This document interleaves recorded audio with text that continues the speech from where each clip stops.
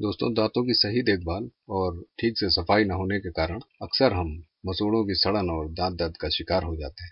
तो आइए आगे जानते हैं दांत दर्द का एक रामबाण घरेलू और प्राचीन नुस्खा जो दांतों की दर्द की समस्या में बहुत ही कारगर है।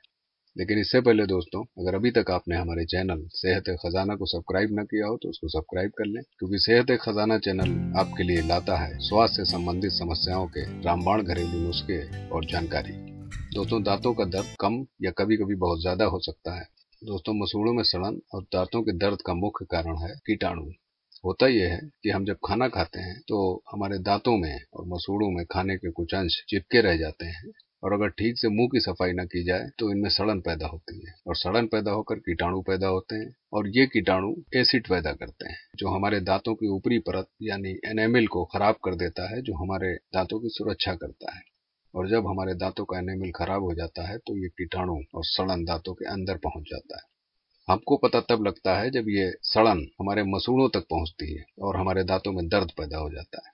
और कभी कभी ये दर्द इतना ज़्यादा होता है कि हम रात में सो नहीं सकते और सुबह उठने पर हमारे चेहरे पर सूजन आ जाती है और भयानक सर दर्द होने लगता है। लेकिन घबराने की ज़रूरत नहीं है दोस्तों।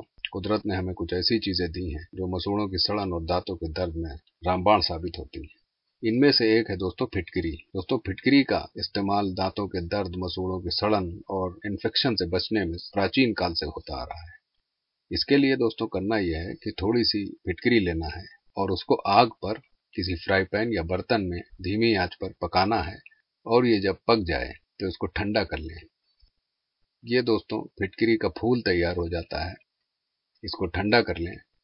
और ठंडा होने पर इसको हाथों से या किसी चीज़ से पीस कर पाउडर बना लें। ये पाउडर दोस्तों मसूड़ों की सड़न और दांतों के दर्द में बहुत कारगर साबित होता है। दोस्तों, इसके इस्तेमाल के लिए करना यह है कि एक गिलास पानी में इस पाउडर की चावल के एक या दो दाने की बराबर मात्रा लेकर उसको एक गिलास पानी में घोलना है और इसे सुबह शाम कुल्ली करना है। इस पानी को थोड़ी देर अपने मुँह में रखें ताकि ये पानी आपके मसूड़ों और दांतों तक ठीक से पहुँच जाए। उसके बाद कुल्ली कर लें। इससे आपकी मसूड़ों की सड़न खत्म होगी और दांतों के दर्द में बहुत जल्द राहत मिलेगी। तो दोस्तों, ये तो थी दांतों के दर्द में फिटकरी के इस्तेमाल की बात। अब इजाज़त दीजिए, लेकिन इससे पहले दोस्तों, एक बात और कि अगर आपको हमारा वीडियो पसंद आता है तो इसको लाइक ज़रूर करें और इसको उन लोगों के साथ शेयर करें जिसको इनकी ज़रूरत है, ताकि ये जानकारी दूसरे लोगों तक पहुँचे और दूसरे लोग भी इसका लाभ उठाएँ। और अंत में हमारा वीडियो देखने के लिए आप सभी का बहुत बहुत धन्यवाद।